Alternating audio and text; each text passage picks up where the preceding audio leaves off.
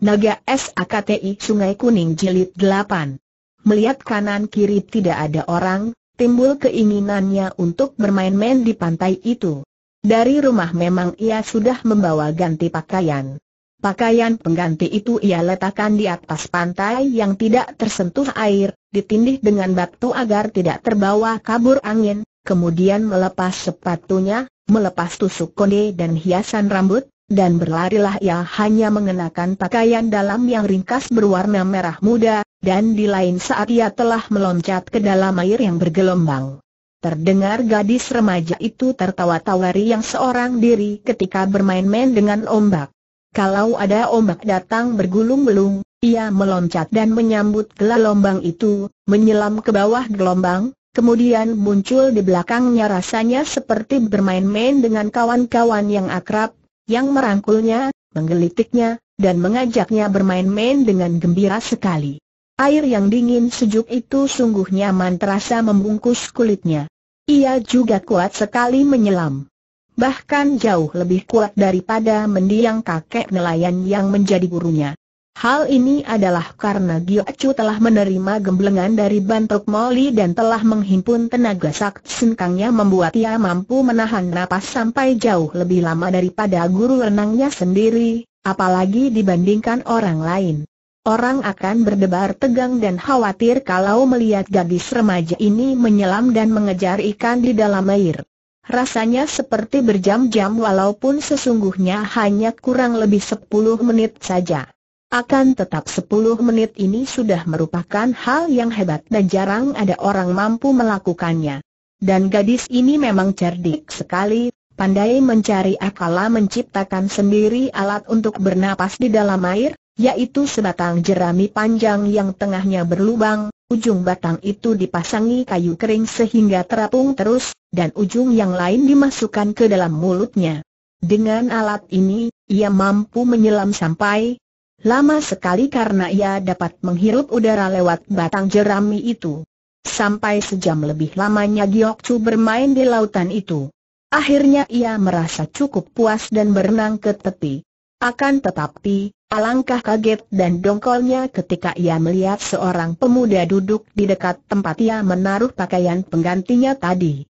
Dan yang lebih menjengkelkan hatinya lagi, Pemuda itu dikenalnya sebagai pemuda yang paling genit dan ceriwis di antara semua orang muda yang kini menjadi tamu gurunya selama beberapa hari ini. Bahkan ia tahu pula bahwa pemuda itu bernama Siang Keantek, putra dari Si Bok yang merupakan tucu, majikan pulau, dari Pulau Hiu, seorang yang kabarnya kaya raya dan berpengaruh, ia mempunyai banyak anak buah dan menjadi bajak laut yang amat disegani dan ditakuti, Siang Koantek itu seorang pemuda berusia 20 tahun yang macu keranjang, tinggi kurus namun tampan dan pesolek.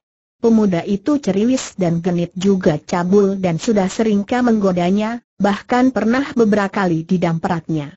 Namun gurunya adalah sahabat baik ayah pemuda itu, Bahkan sikap gurunya terhadap pemuda tampan ini pun kadang memuakan hati Giok Chu mau apa pemuda itu berada di pantai dan mendekati pakaian penggantinya yang ditindih batu di atas pasir itu. Giok Chu keluar dari dalam air dan berjalan di atas pasir menuju ke tempat pemuda itu duduk di atas pasir. Akan tetapi ia teringat akan pakaiannya yang basah, Pakaian dalam lagi di dalam keadaan basah itu pakaiannya melekat dan mencetak tubuhnya, membuat tubuhnya membayang dan nampak lekuk lengkungnya. Perasaan rikuh dan malu membuat wajah Giok Chu kemerahan apalagi melihat pemuda itu memandang kepadanya dengan mata melotot seolah-olah biji kedua matanya hampir melompat keluar dan mulutnya ternganga. Pandang matu itu menyapu dan seperti mencengkeram beberapa bagian tubuhnya sehingga bagian-bagian tertentu itu terasa seperti digelitik. Kenapa engkau memandang seperti itu, sampai biji matamu mau copot bentaknya marah. Yang dibentak malah tersenyum, lalu menarik napas panjang, seolah-olah baru sadar dari mimpi yang amat indah. Aduhai! Adik Giok Chu, engkau sungguh cantik jelita tubuhmu itu, ah, Aku bisa gila kalau tidak kau beri cium satu kali saja pada mulutmu sepasang mata yang jeli dan bening itu seperti memancarkan sinar berapi. Siang ko antek, mulutmu sungguh busuk e iit, e iit, engkau baru berusia 15 tahun dan aku sudah 20 tahun, Nona manis, sepatutnya engkau menyebut aku Toako seperti yang sudah-sudah. Bukankah gurumu sendiri menyuruh engkau menyebut Toako kepada Toako hidungmu? Siapa sudi menyebutmu Toako? Engkau berhati kotor, metu keranjang, hidung belang, genit dan ceriwis. Hayo cepat kau pergi dari situ dan tinggalkan aku sendirian. Aku mau berganti pakaian kering kembali sepasang metu yang nakal itu menjelajahi tubuh Giok Chu, membuat gadis itu ingin sekali menutupi tubuhnya bagian depan dengan tangan atau pakaian kering. Aduh, bukan main indahnya tubuhmu, pemuda itu terang-terangan menelan ludah. Bagaimana kalau aku yang menggantikan pakaianmu dia mengambil pakaian kering itu dari bawah tindihan batu. Berikan pakaianku, engkau keparat Giok Chu sudah marah sekali dan memaki. Aduh, bukan main. Kalau marah mulutmu cemberut matamu terbelak semakin cantik saja. Xiao Moi, aku cinta padamu, dan aku akan minta pada ayahku untuk meminangmu menjadi istriku. Xiao Moi, berilah aku sebuah ciuman saja dan aku akan pergi tidak mengganggumu lagi, ngaco. Siang Ko Antek, Sekali lagi, berikan pakaianku dan pergi dari sini. Pakaian ini dia mendekatkan pakaian itu ke depan mukanya dan menyedotnya. Air, wangi Kau mau pakaian ini?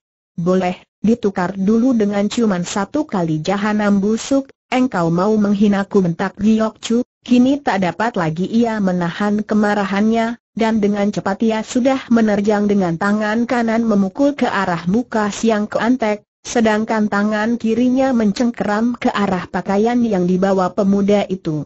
Wuuut! Siuut! Kedua tangan gadis remaja itu mengandung tenaga pukulan yang cukup dahsyat karena selama lima tahun ini ia telah banyak mempelajari ilmu-ilmu silat dari gurunya, dan sudah berhasil menghimpun Sin Kang yang kuat, apalagi karena ia pernah minum darah anak naga itu walaupun tidak begitu banyak. Namun, Siang Keantek adalah seorang pemuda yang tingkat ilmu silatnya sudah cukup tinggi, masih setingkat lebih tinggi dibandingkan Giok Chu, apalagi dia sudah mempunyai banyak pengalaman berkelahi ketika dia memimpin anak buah ayahnya membajak kapal dan perahu di tengah lautan dan bertempur melawan pemilik kapal yang dibajak. It, hei, sayang tidak kena, nona manis dengan cekatan, Siang Keantek melompat ke samping untuk menghindarkan diri, dan mengangkat pakaian itu tinggi-tinggi. Di atas kepalanya. Hayo tukar pakaian ini dengan ciuman di mulutmu. Satu kali saja jahanam busuk, ku bunuh engkau Giok Chu membentak dan ia terus menyerang lagi dengan lebih ganas. Namun kembali pemuda itu dapat mengelak dengan berlompatan, dia pun sudah berapa kali mengelak dari terkaman terjangan gadis itu. Kemudian, melihat betapa gadis itu cukup lincah dan merupakan lawan yang cukup berbahaya, lalu menyelipkan pakaian Giok Chu itu diikat pinggangnya, dan dia melayani Giok Chu dengan kedua tangannya. Kini dia bukan hanya mengelak, melainkan kadang-kadang menangkis dan setiap kali menangkis, dia sengaja mengusap lengan gadis itu. Aduh halusnya, mulusnya, hangat lagi Giok Chu semakin marah. Tiba-tiba dia mencengkeram dengan lengan kirinya ke arah muka siang keantek, sedangkan tangan kanannya, dengan kecepatan kilat menonjok ke arah lambung. Serangan ini hebat sekali, namun agaknya siang keantek sudah dapat menduganya. Dia menangkis cengkeraman ke mukanya, lalu menangkap tangan yang menonjok, ditariknya tangan itu dan diciumnya sampai berbunyi ngok. Jahanam busuk, anjing kau, buaya kau, Monyet kau Giok Chu memaki-maki sambil sibuk mengusapi tangan yang dicium tadi dengan ujung pakaiannya yang basah. Melihat ulah gadis itu, Siang Keantek tertawa geli. Air, baru tangannya sudah sedap sekali dicium, apalagi bibirnya biarpun ia marah sekali, Giok bukan anak bodoh dan ia tahu bahwa pemuda ini memiliki ilmu silat yang tinggi dan agaknya tidak akan mudah baginya untuk dapat merampas pakaiannya itu. Siang Ko Antek, awas kau. Kalau kau lanjutkan kekurang ajaranmu, kalau tidak segera kau kembalikan pakaian itu, aku akan lapor kepada guruku engkau akan disiksa dan dibunuhnya akan tetapi, mendengar ancaman ini, pemuda itu malah tertawa. Ibu gurumu. Hahaha, ia akan mentertawakanmu, Xiao Moi. Aku sudah sejak beberapa hari yang lalu saling berciuman dengan gurumu. Kalau aku boleh menciumnya, mengapa aku tidak boleh menciummu? Dan aku percaya ia akan lebih senang kalau aku yang mengajarimu cinta, daripada pria lain. Gurumu tentu akan senang sekali mempunyai mantu aku, dengan demikian aku akan selalu dekat pula dengannya Gio Chu tidak berapa mengerti apa yang dimaksudkan oleh pemuda itu dengan ucapan tadi, akan tetapi mendengar bahwa gurunya membiarkan dirinya dimaklumi pemuda ini, mukanya berubah merah dan hatinya merasa muak sekali. Sudahlah, kalau engkau menghendaki pakaian itu, boleh kau rampas. Memang engkau anak bajak laut, biasanya hanya merampok. Aku akan mencari pakaian lain berkata demikian, Giok Chu melompat hendak pergi meninggalkan pemuda itu. Akan tetapi ada bayangan berkelebat di sampingnya dan tahu-tahu pemuda itu sudah menghadang. Jelas bahwa dalam Gin Keng ia juga masih kalah jauh. Siang Ko Antek, mau apa engkau menghadangku? Aku mau pergi, jangan menghadangku tidak boleh, Nona manis. Belum boleh pergi. Engkau masih hutang cuman yang harus kau bayar. Marilah, mari beri aku cuman dan aku akan membantumu berganti pakaian kering, Kemudian kita bersama menghadap gurumu dan ayahku untuk membicarakan urusan perjodohan kita. Aku cinta padamu, Xiao Moi. Sialan Giok Chu membentak dan pun terpaksa menyerang lagi. Akan tetapi sekali ini, Siang Keantek bukan hanya mengelak dan menangkis, melainkan membalas dengan serangan berupa colekan, cubitan dan rabaan biar bukan merupakan serangan pukulan berbahaya, namun bahkan membuat gadis repot sekali karena tentu saja ia tidak sudi dicolek, dicubit atau diraba secara demikian kurang ajarnya. Hampir ia menangis saking marah dan jengkelnya karena setelah lewat belasan jurus, belum juga ia mampu memukul pemuda itu sedangkan beberapa kali dada dan pinggangnya kena dicolek dan diraba. Tiba-tiba, gadis itu mengeluarkan suara melengking nyaring, kedua tangannya melakukan serangan dorongan dan telapak tangan terbuka ke arah lawan.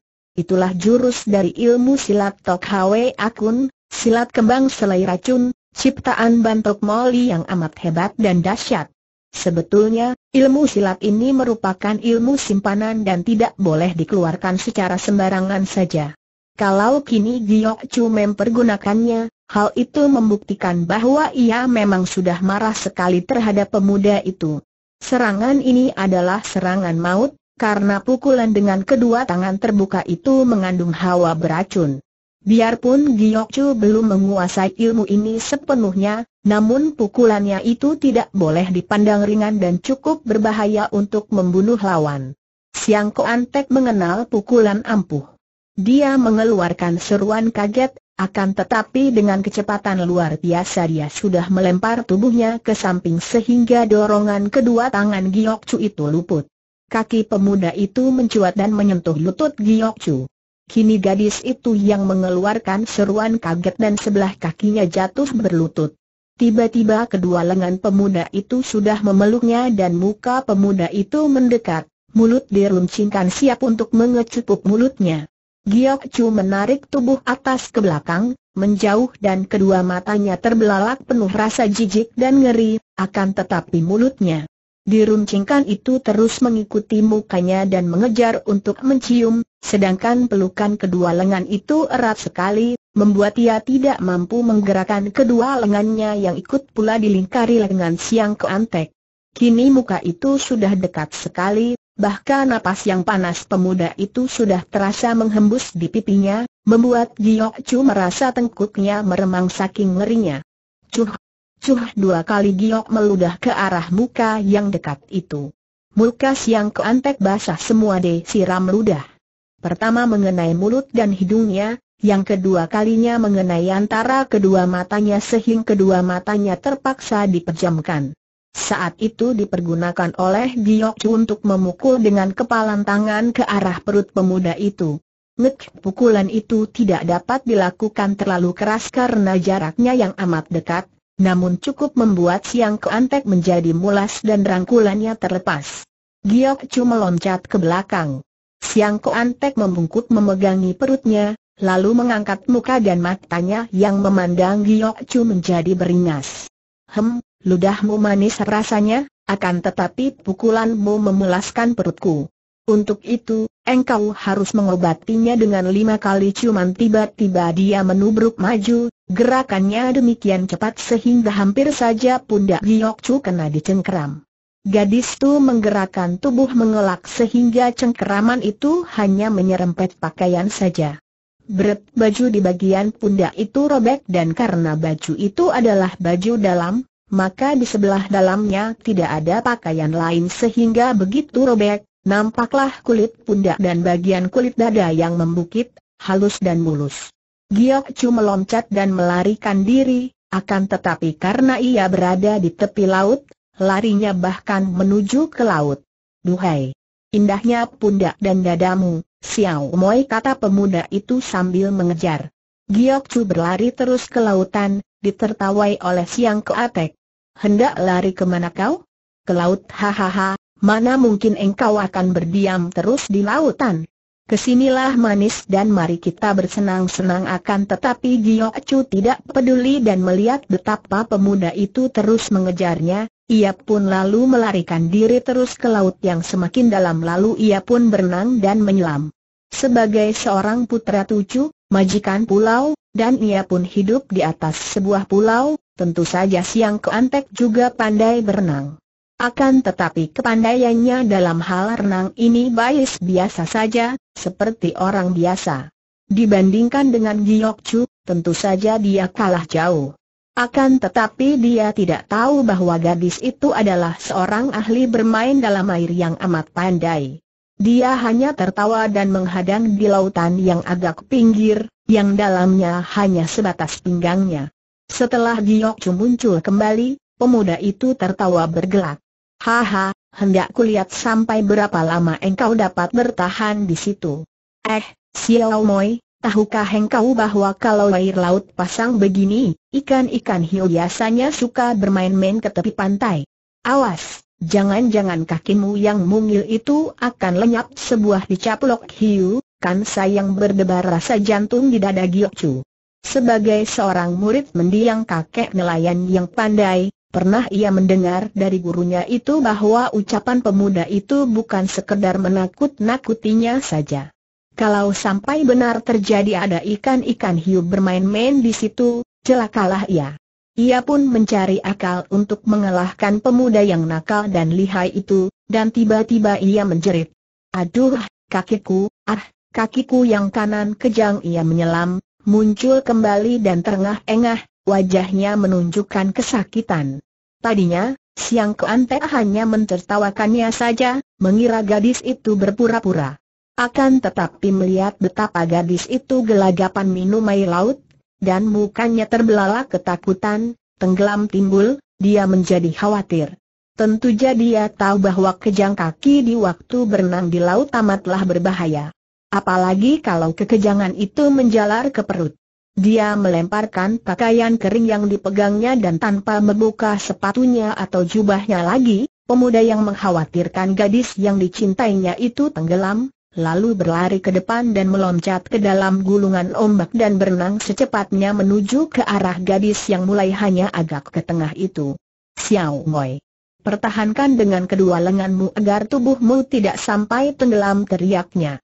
Tekuk pergelangan kakimu ke atas sekuat tenaga, jangan khawatir, aku datang menolongmu to aku.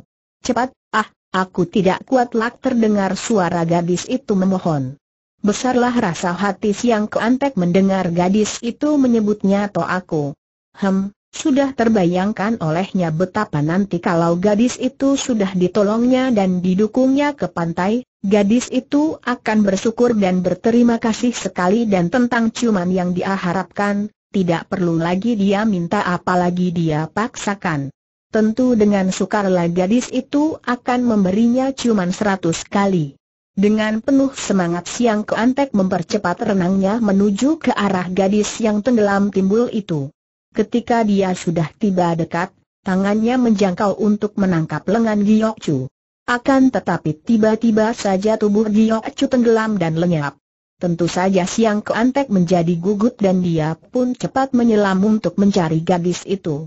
Dan pada saat itu, dia merasa betapa kakinya ada yang menangkap dan tubuhnya ditarik dengan kuat sekali ke bawah.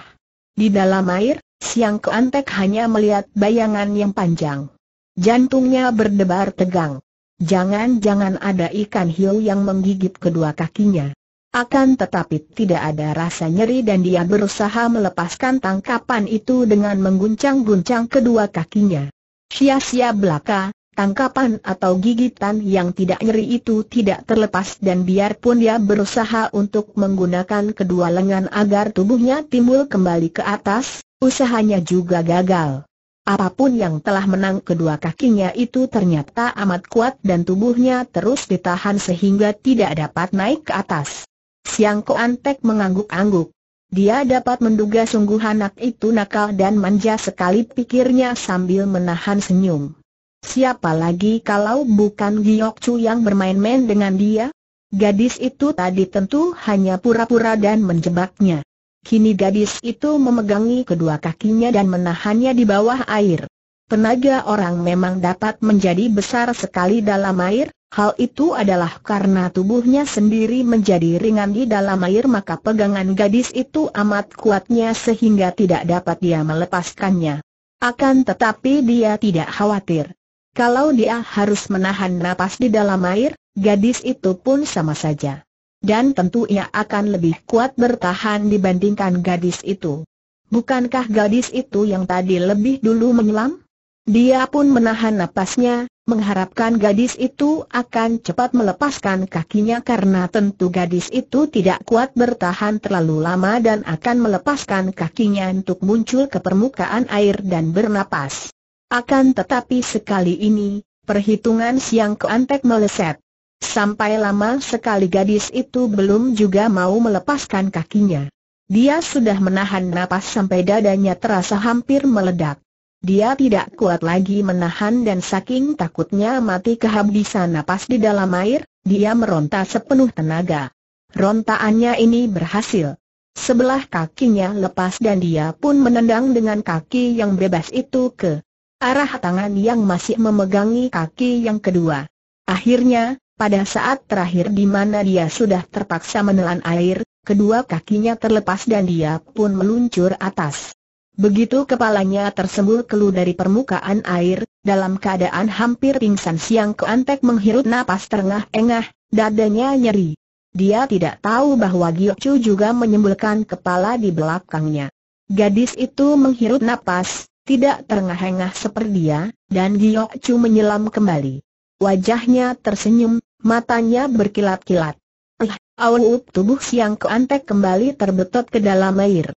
Dia meronta sekuat tenaga, kakinya terlepas dari pegangan Giok Chu, mukanya tersembul lagi dan diagak-agapan, bernapas dan tak dapat dihindarkan lagi ada laut memasuki perutnya. Eh, Jangan Xiao Moi dia berteriak akan tetapi kembali tubuhnya diseret ke bawah. Terjadilah pergulatan di air. Siang Ko Antek berusaha muncul kembali, Giok Chu berusaha menyeretnya ke bawah titik Siang Ko Antek gelagapan, beberapa kali minum air laut dan berusaha untuk melawan. Namun gadis itu sungguh lincah sekali di dalam air, seperti seekor ikan saja. Tenaga siang keantek makin lama semakin lemah akhirnya dia pun pingsan. Giok Chu masih teringat kepada gurunya. Kalau dibiarkan pemuda ini mati, tentu gurunya akan marah sekali padanya. Dan kemarahan gurunya dapat saja berarti ia akan dibunuh atau disiksa. Sudah seringkah ia melihat gurunya marah dan menyiksa atau membunuh orang, dan diam Giok Chu menggigil ngeri. Pula, ia pun tidak ingin membunuh siang keantek ini. Memang dia kurang ajar, akan tetapi bukankah dia hanya menyatakan cintanya dan tadi hanya ingin mencium? Pula bukankah ketika ia berpura-pura kejang tadi, siang keantek berusaha menolongnya, tanpa melepas jubah dan sepatu? Hal ini saja menunjukkan bahwa siang keantek yang genit dan ceriwis matu keranjang dan kabul itu memang benar mencintanya. Tidak, ia tidak akan membiarkan pemuda itu mampus. Diseretnya tubuh pemuda yang pingsan itu ke tepi. Diseret dengan menjambak rambutnya dan membiarkan muka pemuda itu terapung menengadah. Setelah tiba di pantai, diseretnya pemuda itu pada rambutnya sampai berada di atas pasir pantai lalu ditelungkupkan dan diinjak punggung bagian perut. Banyak air keluar dari mulut dan hidung pemuda itu sehingga perutnya yang tadinya menggembung menjadi kempis kembali. Giok Chu mengamati sebentar. Pemuda itu bernapas, biarpun terengah-engah. Dia tidak akan mati, pikir Giok Chu dengan hati lega dan puas. Lega karena ia telah berhasil lolos dari gangguan pemuda itu, dan puas karena ia telah mampu membalas dan memberi hajaran tanpa harus membunuh pemuda inilah segera mengambil pakaian keringnya dan di belakang sebongkah batu besar, ia bergan pakaian. Ketika melihat bajunya yang robek di bagian dada dan karena pergulatan di lautan tadi robeknya menjadi semakin lebar sehingga nampak sebagian dadanya, wajahnya berubah merah dan ia menjadi marah kembali kepada Siang Keantek. Pemuda itu sungguh kurang ajar, pikirnya. Setelah ia berganti pakaian kering, teringat akan perbuatan pemuda itu yang hampir menelanjanginya, ia lalu menghampiri pemuda yang masih belum sadar BU itu, dan beberapa kali ia mencengkeram ke arah pakaian lalu merenggutnya, kemudian meninggalkan siang keantek dalam keadaan hampir telanjang dan tengah pingsan di tempat itu. Ketika Giok Chu pulang menuju ke kota Cheng Tou, ia harus melalui sebuah jalan yang sunyi berbukit. Tempat sunyi ini biasanya menjadi tempat berkumpul para nelayan untuk membetulkan jala dan menjemur jala. Di situ hanya ada beberapa buah buk, akan tetapi pada saat itu, tidak nampak seorang pun di tempat itu. Giok Chu berjalan dengan hati gembira. Pemuda itu pasti tidak akan berani lagi mengganggu dirinya. Pengalaman pahit. Itu tentu membuat Siang Keantek menjadi jerah. Ia tidak tahu bahwa semenjak di pantai tadi, ada empat pasang metu yang menyaksikan semua yang terjadi, bahkan ketika ia berganti pakaian di belakang batu besar, empat pasang metu itu mengintainya dengan pandang mata penuh nafsu iblis. Selagi Giok Chu berjalan santai di tempat yang sunyi itu, tiba-tiba nampak empat orang pemuda berloncatan dari balik sebuah gubuk. Giok Chu mengerutkan alisnya ketika ia mengenal empat orang pemuda yang seperti juga Singko Antek, menjadi tamu dari gurunya. Tidak seperti siang keantek yang datang bersama ayahnya, empat orang pemuda ini adalah murid-murid dari dua orang tokoh Cheng Ou yang juga terkenal dan menjadi rekan gurunya. Ia malah sudah diperkenalkan dengan mereka dengan guru-guru mereka. Pemuda yang kurus kering dengan muka pucat berusia 20 tahun itu bernama Bantu, dan pemuda yang mukanya tampan akan tetapi Bob Peng, cacat bekas cacar, itu bernama Gak Su. Mereka adalah Su Heng dan Su Te, murid dari Kok Sian, seorang tokoh Kang Ou yang amat terkenal pula. Ong Kok Sian seolah-olah menjadi raja kecil, raja kaum sesat dan berkuasa di daerah pegunungan Liong San, di mana dia hidup sebagai seorang yang berkuasa dan kaya raya, dengan rumah gedung yang didirikannya di puncak sebuah bukit di pegunungan itu. Ong Kok Sian ini berusia kurang lebih 50 tahun, Tubuhnya tinggi besar seperti raksasa, dengan mata lebar mulut besar dan mukanya berbentuk segi epet. Dua orang pemuda yang lain bernama Shok Boan, yang bertubuh gendut dengan muka seperti kanak-kanak, dan Poakian So yang pendek dengan hidung pendek pesek pula. Mereka ini Su Heng dan Su Te, murid dari Lui Seng Chu yang berjuluk Hok Hou Toatu, golok besar penakluk harimau, seorang berusia 50 tahun dan terkenal sebagai seorang perampok tunggal yang ditakuti. Akan tetapi diakini telah mengundurkan diri dan menjadi seorang di antara pimpinan suatu aliran kepercayaan baru yaitu para penyembah Tian TKW Iong, Raja Setan Langit Bumi, yang katanya dapat membuat orang menjadi kaya raya, sakti dan panjang umur. Demikianlah, melihat empat orang pemuda ini tiba-tiba muncul dan menghadangnya, Giok Chu mengerutkan alisnya. Seperti juga siang keantek, empat orang pemuda yang menjadi tamu gurunya ini bersikap amat manis kepadanya, terlalu manis bahkan menjilat-jilat dan jelas merayu, kadang-kadang kurang ajar. Mengingat akan pengalamannya yang baru saja mengancam keselamatannya, Giok Chu yang tidak ingin pula mengalami hal tidak enak di tempat sunyi itu, lalu tersenyum manis dan menegur mereka lebih dulu. Selamat pagi. Cuito aku, para kakak, hendak pergi ke manakah empat orang pemuda itu memandang kagum dan mati mereka mengandung nafsu berahi. Hal ini adalah karena mereka tadi melihat pergulatan Giokcu dan Siang Keantek, kemudian mereka melihat pula betapa Giokcu berganti pakaian di belakang batu, lalu betapa gadis itu menelanjangi Siang Keantek kini, gadis yang memang membuat mereka tergila-gila itu berdiri di depan mereka sambil tersenyum manis. Dalam pandangan mata empat orang pemuda ini, mereka yang masih teringat akan penglihatan tadi seolah-olah gadis itu berdiri di depan mereka tanpa pakaian. Xiao Muai Moi Giok Chu, engkau tampak segar dan cantik jelita, juga rambutmu masih basah. Dari manakah engkau tanya Syok Boan sambil tersenyum simpul.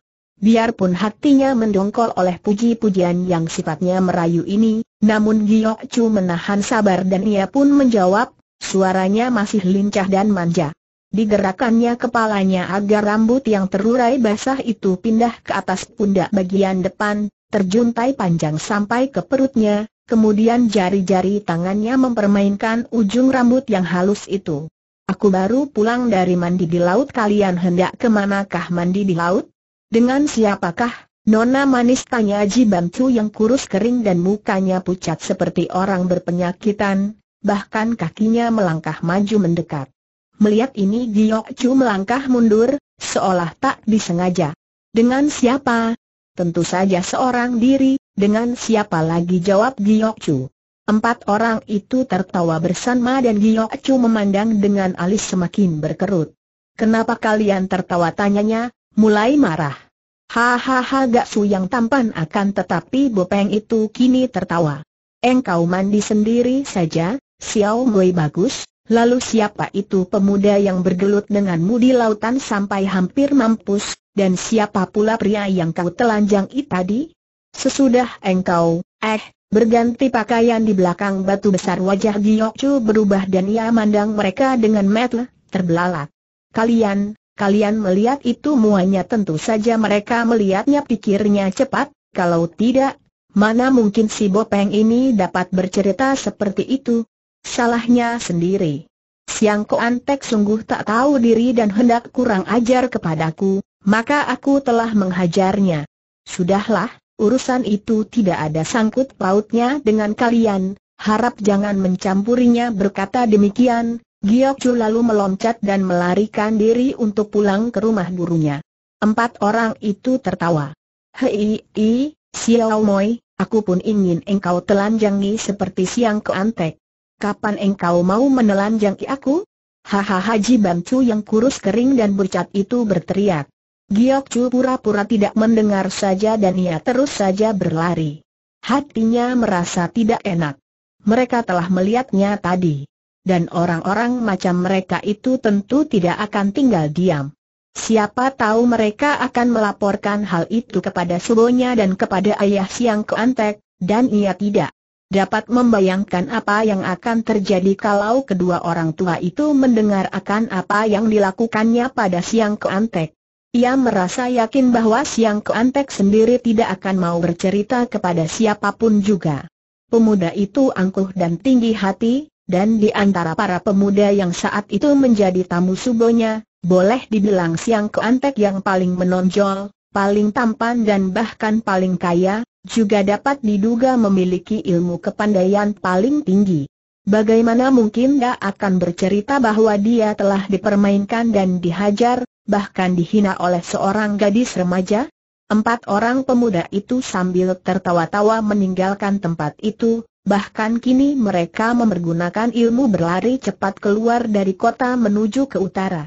Menjelang senja, empat orang pemuda itu telah kembali ke Cheng Tou dan dua orang di antara mereka, yaitu Shok Boan dan Pao Kian So, murid-murid Hok Hou Toatu Sen Chu, kini memanggul sebuah karung, sedangkan dua orang kawan mereka, yaitu Ji Bam Chu dan Gak Su, dua orang murid Tou Kok Sian, mengikuti saja dari belakang.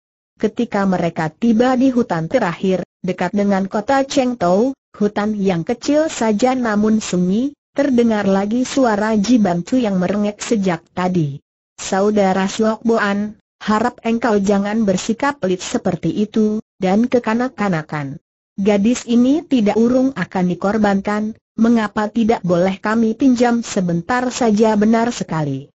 Sayang ia dikorbankan begitu saja, biarkan kami berdua menikmatinya kalau kalian berdua tidak mau ingat. Tadi kami pun telah membantu kalian menangkap dua orang ini. Gak Su yang mukanya bopeng mendukung suhengnya. Dua orang murid dari Ong Kok Sian ini merasa penasaran sekal karena sejak tadi permintaan mereka ditolak oleh dua orang rekan itu. Padahal ketika menculik pemuda dan gadis dari dusun itu, mereka berdua telah membantu. Sudah kukatakan sejak tadi, yang ini sama sekali tidak boleh diganggu, pemuda yang dikorbankan harus perjaka tulen seperti juga gadisnya harus perawan tulen. Kalau Suhu mengetahui bahwa gadis itu tidak perawan lagi, tentu kami berdua yang akan menerima hukuman dan kemarahan Suhu, bantah Syok Boan tegas. Bagaimana gurumu akan dapat mengetahuinya? Kita serahkan keduanya dalam keadaan mulus. Percayalah, kami berdua akan berlaku hati-hati sekali. Berikan ia sebentar kepada kami, dan tak lama kemudian akan kami kembalikan ia dalam keadaan utuh desak Jibantu. Benar sekali kata Suheng. Sayang gadis semanis itu dibiarkan lewat begitu saja tanpa dinikmati. Serahkan ia kepada kami, saudara Syok Boan Gaksu juga mendesak. Kini Poa Kian So, murid kedua dari Hok Hou Toat Lui Seng Chu, melangkah maju dengan muka merah. Dia memanggul karung kedua dan kini dengan sikap marah dia berkata kepada dua orang pemuda itu. Kalian ini sungguh nekat. Apakah kalian belum pernah berdekatan dengan wanita maka demikian dekat seperti kelaparan? Masih banyak gadis lain yang dapat kalian tangkap bukan yang ini. Apa sih hebatnya perawan dusun ini? Dibandingkan dengan Nona Giok Chu, tentu bukan apa-apanya Syok Boan membujuk dua orang temannya itu. Sudahlah, kalian harus tahu bahwa kita membawa tugas penting dan sekarang kita tentu telah dinanti-nanti oleh para Lo Ciampul.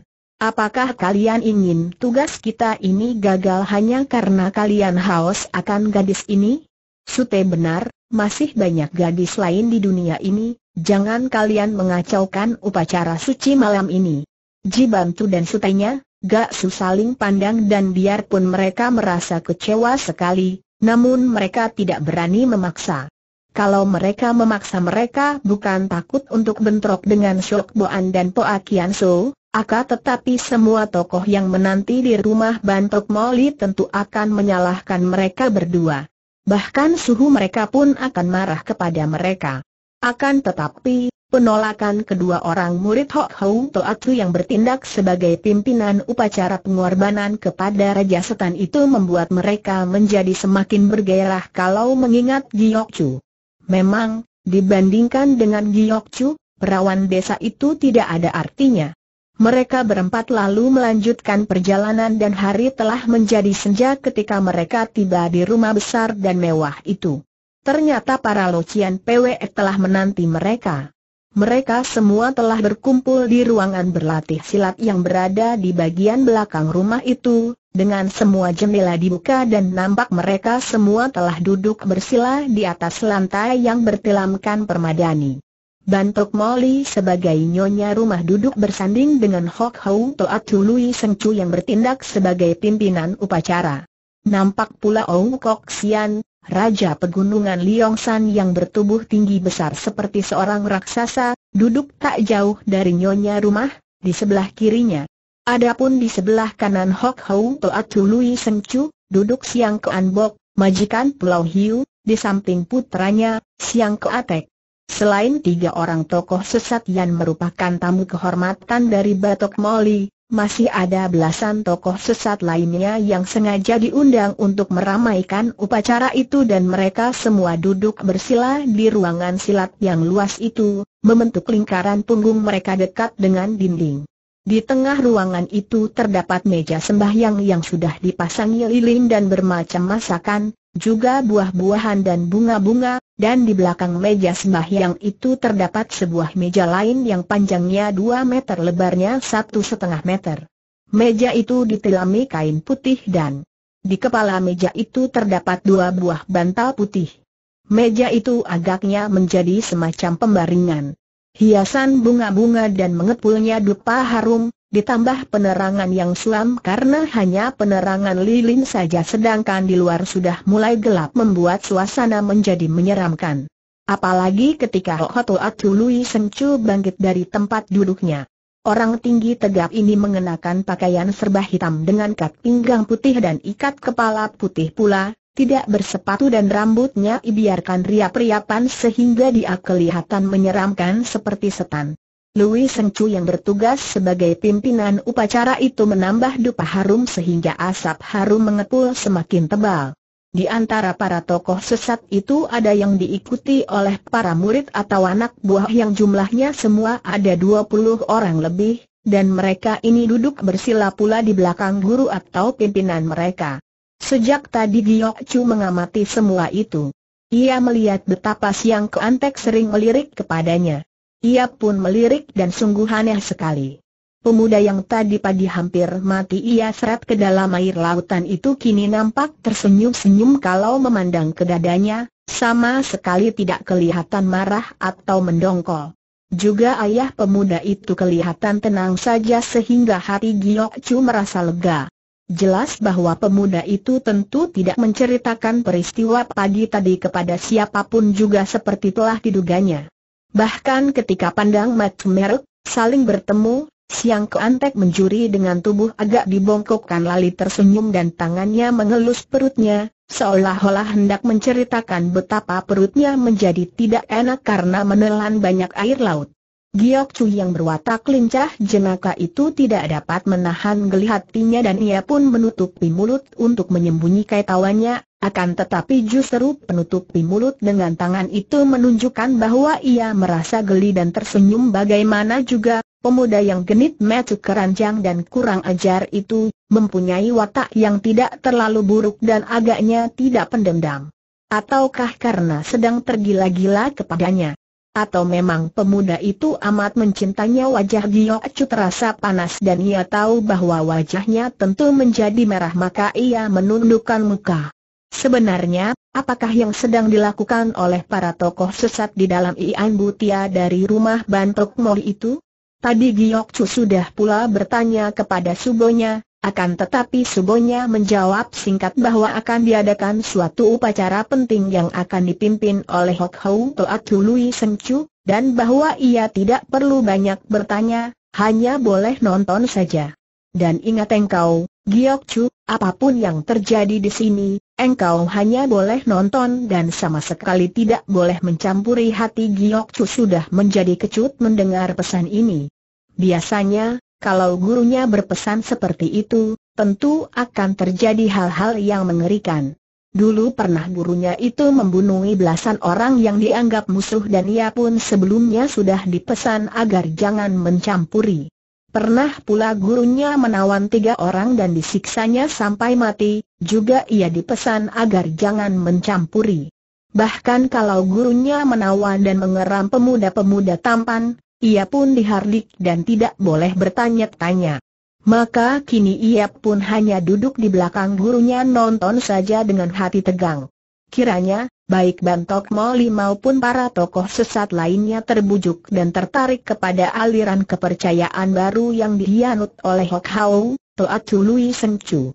Menurut penuturan Lui Sengcu kepada para rekannya aliran kepercayaan baru ini berpusat di sumber atau pusat dari Wang Ho, Sungai Kuning, yaitu di lereng pegunungan Bayan San di bagian selatan Provinsi Qinghai.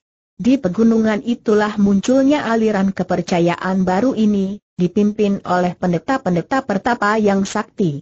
Dan aliran kepercayaan baru ini dinamakan Tian Tekau, agama langit bumi, dan yang disembah adalah yang disebut Tian Tekau Iong, Raja. Setar langit bumi. Menurut keterangan Louis Sengcu, biarpun yang disembah itu hanya sebuah yang dibentuk sebagai sebuah arca, namun roh yang disembah itu sudah sering muncul di depan para penyembahnya. Bahkan pemuja yang sungguh-sungguh dapat berhubungan dengan Tian TKW Ong dan mendapatkan pelajaran langsung.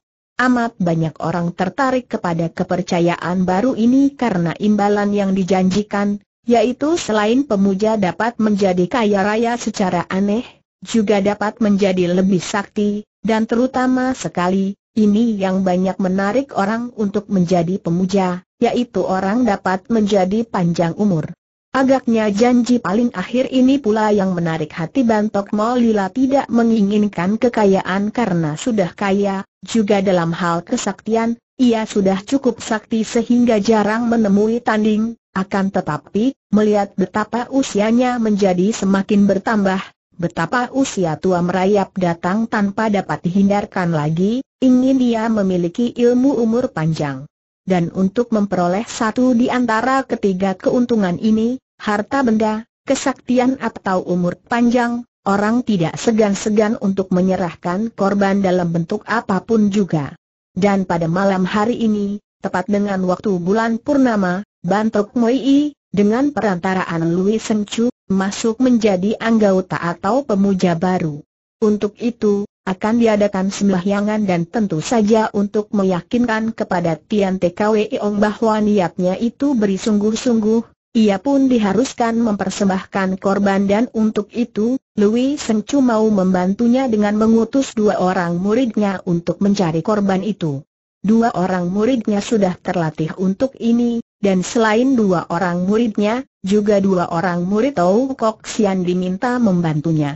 Ong Kok Sian sendiri, majikan pegunungan Liong San, juga amat tertarik dan ingin pula dia mempunyai umur panjang. Akan tetapi dia masih agak ragu-ragu maka ia ingin menyaksikan dulu betapa Bantok Moi melakukan upacara itu. Kalau keraguannya sudah hilang, tentu dia pun akan masuk menjadi anggota aliran kepercayaan baru itu. Saat yang ditunggu-tunggu tiba ketika terdengar langkah-langkah kaki dari luar ruangan itu. Setelah dua orang pelayan wanita melaporkan kepada Bantok Moli, muncullah empat orang pemuda itu, yaitu dua orang murid Hok Hou Toatsu yang masing-masing memanggul sebuah karung, dan dua orang murid Tou Kok Sian yang mengikuti mereka dari belakang. Melihat dua orang muridnya yang datang memanggul dua buah karung itu, Louis Sencu memandang dengan wajah berseri. Aha, kalian sudah pulang dan berhasil?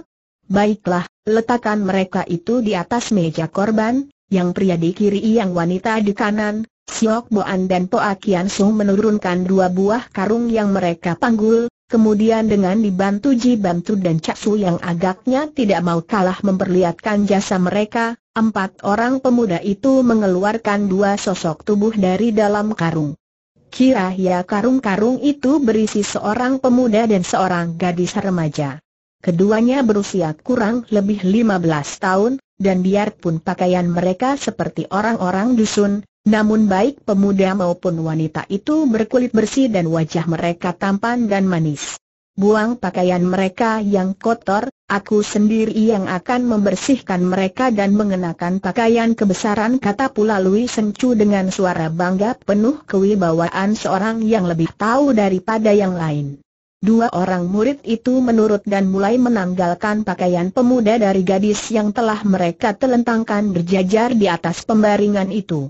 Ternyata dua orang itu tidak mampu bergerak karena jalan darah mereka telah tertotok. Si pemuda nampak ketakutan dan gadis itu terbelalak dengan air.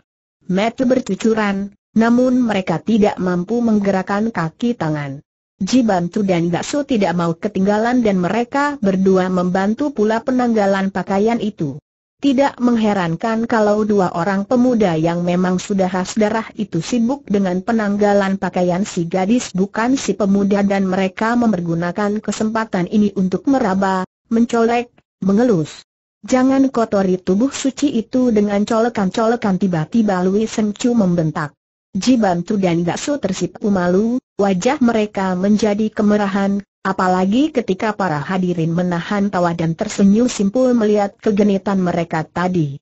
Lebih mendongkol lagi ketika dengan tangannya, Louis Sencu menyuruh mereka berempat pergi meninggalkan pemuda dan gadis yang kini telentang di atas pembaringan dengan telanjang bulat itu.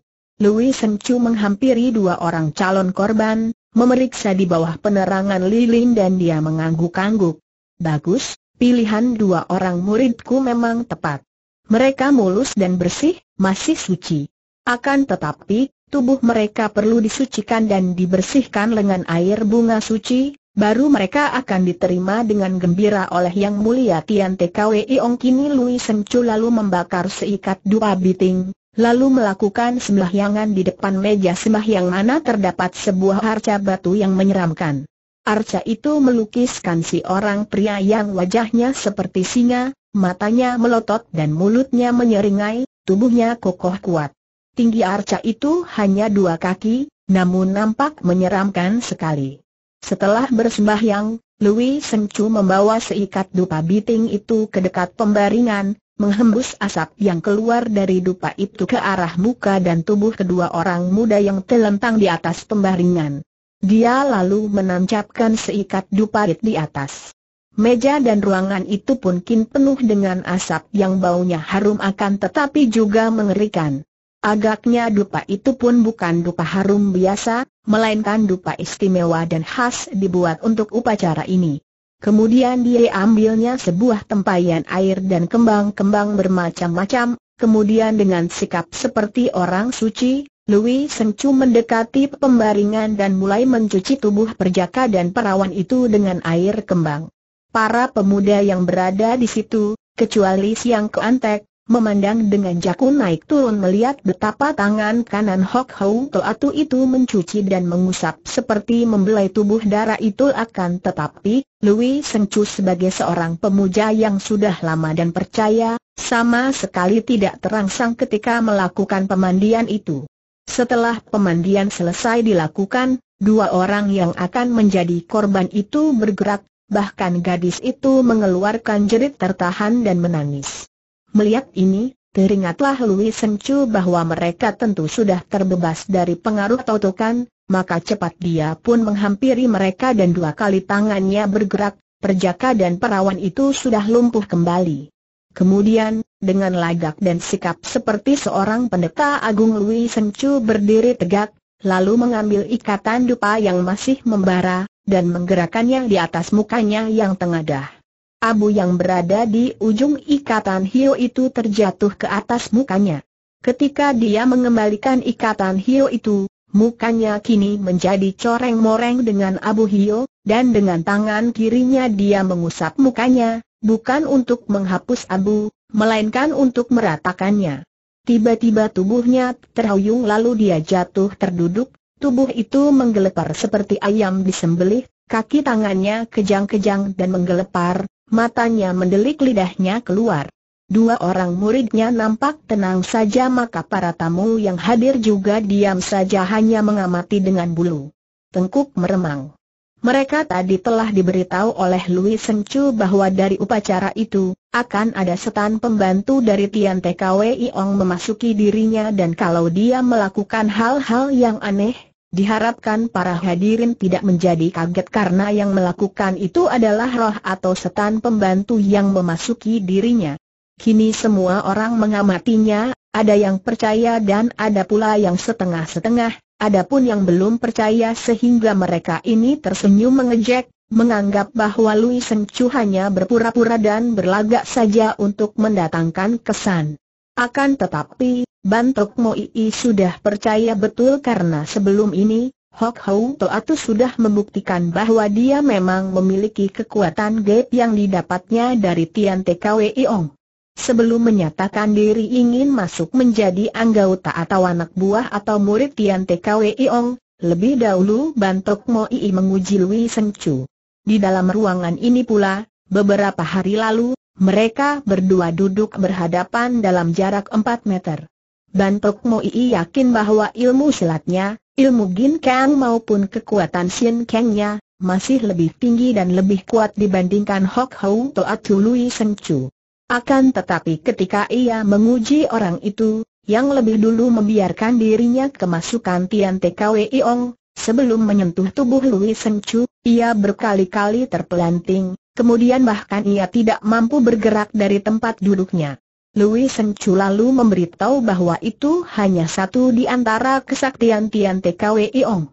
Murid yang tekun akan menjadi sakti, kaya raya, dan juga panjang umur sampai lebih seratus tahun. Inilah sebabnya, ketika melihat Louis Chu menggelepar di depan meja sembahyang, Bantok Molly tidak merasa heran, juga ia percaya sepenuhnya bahwa orang itu sedang mulai kemasukan roh halus atau setan pembantu seperti yang telah diceritakan sebelumnya. Kini Louis Senchu tidak menggelepar lagi, menjadi tenang dan berlutut di depan meja sembahyang, menghadap ke arca. Tian TKW Iong dan menyembah sampai 13 kali, mengeluarkan suara mengaum seperti harimau.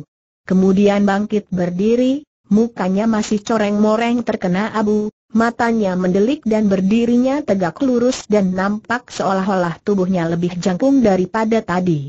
Lalu dia memutar tubuh menghadap ke arah Bantok Molly, lalu terdengar suaranya lantang sekali, terdengar bergetar biarpun agak parau. Fang Bicu, Ong Ya memanggil engkau untuk menghadap ke sini, sekarang juga semua orang terkejut. Nama besar Bantok Molly, siapakah yang tidak tahu? Akan tetapi nama kecilnya, Fang Bicu jarang ada yang tahu dan mereka yang tahu pun tidak berani mempergunakannya.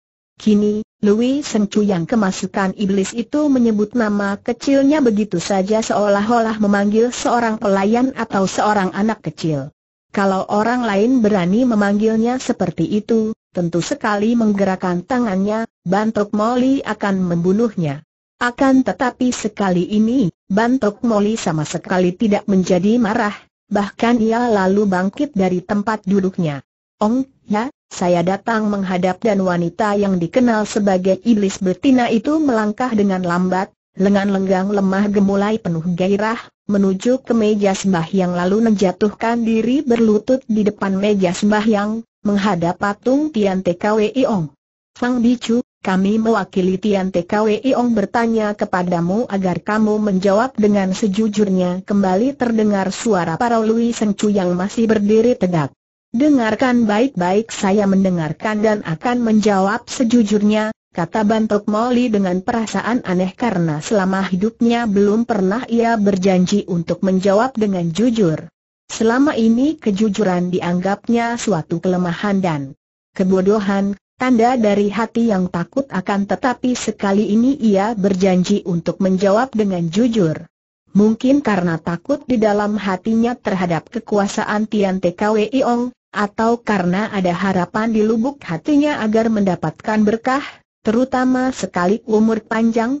Fang Bicu, benarkah engkau ingin menghambakan diri kepada Tian TKW Ong ya benar, dan engkau siap untuk menghaturkan korban suci kepada Ong ya saya sanggup dengan senang hati, apakah korban sudah disediakan? Sudah disediakan dan siap dikorbankan, bagus, permohonanmu diterima, Fang Dicu, dan sebagai anugerah Hong Ya melalui kami, anggur darah remaja akan membuat engkau menjadi awet muda seperti remaja. Terima kasih, Ong Ya kata Bantok Molly dengan girang dan wanita yang terkenal sebagai iblis betina yang biasanya amat angkuh ini, yang tidak pernah mau tunduk kepada siapa pun juga, kini menyembah sambil berlutut, menyembah sebanyak 13 kali seperti yang diberitahukan kepadanya oleh Hok Hong Toa. Tu Lui Seng Chu. Care penyembahan dan penyerahan diri kepada Tian TKW Iong. Tiba-tiba Lui Seng Chu jatuh terduduk dan menggelepar kembali, hanya sebentar dan dia pun sudah bangkit lagi dan kini sikapnya biasa, seolah-olah setan yang memasuki tubuhnya sudah menghilang dan dia menjadi Louis Sencu. Kembali. Kini dihapusnya abu yang coreng-moreng pada mukanya, kemudian dia berkata kepada Bantok Moli. Upacara tingkat pertama telah selesai. Kini tinggal menanti masuknya sinar bulan. Kalau sinar bulan sudah menimpa tubuh kedua orang korban itu, barulah upacara terpenting, yaitu persembahan, boleh dilakukan. Sementara ini, sambil menanti naiknya bulan, Toanio, Nyonya, boleh menjamu para tamu dan saksi, bergembira karena Toanio telah diterima menjadi murid dari Tian TKW Ong dengan wajahnya yang cantik pesolek itu berseri, Bantok Molly lalu bangkit dan dengan isyarat tangannya, belasan orang pelayannya yang semua terdiri dari wanita yang masih muda, cantik dan gesit, mengeluarkan hidangan dan mengatur hidangan itu di atas lantai di depan para hadirin yang duduk bersila di ruangan itu. Care pesta yang aneh karena mereka semua duduk bersila di atas lantai, bukan di kursi menghadapi meja. Akan tetapi, hidangan yang disuguhkan merupakan masakan istimewa, mahal dan lezat, masih mengepul panas lagi, maka gembiralah hati para tamu. Semenjak beberapa hari menjadi tamu Bantok Molly, memang mereka sudah menjadi tamu-tamu terhormat yang dimanja dan disambut dengan baik sekali, akan tetapi malam ini sungguh merupakan pesta yang mewah. Semua orang makan minum dengan gembira setelah Louis Senchu menyuguhkan arak dan beberapa mangkok masakan panas ke atas meja sembahyang, dan seorang pun agaknya tidak ada yang teringat atau mempedulikan dua orang calon korban yang masih menggeletak telentang di atas pembaringan dalam keadaan tidak mampu bergerak dan telanjang bulat itu. Tidak ada seorang pun kecuali Giok Chu. Darah remaja ini sejak tadi mengamati semua yang terjadi dan ketika semua orang makan minum berpesta pora, ia tidak ikut makanlah selalu memandang ke arah pembaringan di mana dua orang itu rebah telentang. Hatinya memerontak. Biarpun ia tidak peduli melihat gurunya masuk menjadi anggota atau murid kepercayaan baru itu, penyembah setan yang disebut Raja Setan Langit Bumi, namun melihat dua orang calon korban itu, ia merasa tidak senang sama sekali. Ia tidak tahu apa yang akan terjadi pada dua orang calon korban itu, akan tetapi menduga bahwa tentu akan terjadi hal yang mengerikan. Mungkin dua orang itu akan dibunuh. Hatinya meronta dan ia sama sekali tidak mampu makan minum. Ia memang tidak pernah diajar lain kecuali ilmu silat dan sedikit boka tulis oleh gurunya, tidak pernah belajar tentang akhlak. Akan tetapi, lima tahun yang lalu ia telah mengerti tentang baik buruk tentang susila dan akhlak yang diterimanya dari pendidikan ayah ibu kandungnya. Xiao Mue Giok Chu, kenapa kau tidak makan tiba-tiba siang keantek bertanya. Sejak tadi pemuda ini memang selalu memperhatikan Giok Chu, dan pandang matanya kini bertambah dengan pandang mata kagum. Memang, sejak pertemuan pertama, Siang Keantek tergila-gila kepada gadis remaja ini, dan pengalaman pagi tadi di lautan membuat dia semakin kagum. Gadis remaja itu bukan saja cantik jelita, manis dan pandai ilmu silat, akan tetapi juga amat cerdik dan pandai ilmu bermain di air pula. Dan, yang lebih menyenangkan hatinya, Ketika ia dalam keadaan pingsan, ternyata gadis itu tidak membunuhnya, bahkan menelanjanginya. Apalagi artinya perbuatan ini kalau bukan cinta, pikirnya. Gadis remaja itu bagaimanapun juga mencintanya. Mendengar teguran halus itu, Giok hanya menunduk, akan tetapi gurunya menoleh dan menegur pula, benar, mengapa engkau tidak ikut makan minum? Giok gurunya amat sayang kepadanya, dan hal ini terasa benar oleh Giok Chu, akan tetapi alangkah bedanya rasa sayang gurunya itu dengan rasa sayang yang pernah dirasakannya dari ayah ibunya. Aku, aku tidak ada nafsu makan subo. Aku masih kenyang, jawabnya pendek. Gurunya pun tidak peduli lagi. Karena hati iblis betina itu sedang gembira bukan main, mana ia mau peduli tentang muridnya makan atau tidak? Selain siang keantek, juga ada dua pasang mata sejak tadi melirik ke arah Giok Chu, yaitu mata Jiban Chu dan Gak Su. Su Heng dan Sute itu, semenjak tadi memang menderita kekecewaan beberapa kali. Pertama ketika permintaan mereka kepada dua orang murid Hoki Hou Toatu untuk mempermainkan gadis calon korban mereka tolak. Kemudian ketika tadi Hok Hou Toatu di depan orang banyak menghardik mereka karena mereka berdua membantu Sok Boan dari Poa Kian Sung untuk melepaskan pakaian dua orang calon korban itu dan mereka mencoba untuk meraba dan membela tubuh gadis calon korban. Mereka berdua kini merasa kecewa sekali dan biarpun mereka ikut pula makan minum, mereka selalu melirik ke arah Giok Chu. Apalagi setelah mereka menuangkan banyak arak ke dalam perut mereka keduanya semakin sering melirik ke arah Giok Chu. Tidak salah, pikir mereka. Darah calon korban itu, kalau dibandingkan dengan Giok Chu, memang bukan apa-apanya. Mereka pun beruntung sekali pernah melihat Giok Chu menanggalkan pakaian ketika darah itu berganti pakaian kering di pantai. Ah, sungguh menggairahkan sekali, dan kini mati mereka seperti berubah hijau ketika mengerling ke arah Giok Chu. Pikiran, badan dan perasaan melalui lima indera merupakan persekutuan yang selalu menyeret kita ke arah kemaksiatan atau perbuatan yang tidak sehat, bahkan kadang kala perbuatan jahat yang merugikan orang lain. Gairah nafsu bukan datang dari luar, melainkan dari dalam. Sebagai contohnya, gairah nafsu berahi. Mata melihat wanita cantik. Kalau pikiran tidak mencampuri dan mengotori, maka tidak akan terjadi sesuatu. Namun, biasanya, pikiran mencampuri, si aku membayangkan kalau wanita itu menjadi miliknya, kalau wanita itu dikuasainya, dan sebagainya, maka timbullah gairah nafsu birahi. Pikir yang membayangkan ini merupakan cermin dari pengalaman melalui badan pula dengan perantaraan lima indera, perasaan nikmat dan enak mendatangkan gata dan bayangan kalau nafsu sudah menguasai batin, maka kita melakukan segalanya untuk memuaskan tuntutan nafsu dan kadang-kadang kita menjadi sedemikian buta sehingga tidak segan melakukan perbuatan yang kotor, seperti melacur, berjana, atau bahkan memperkosa.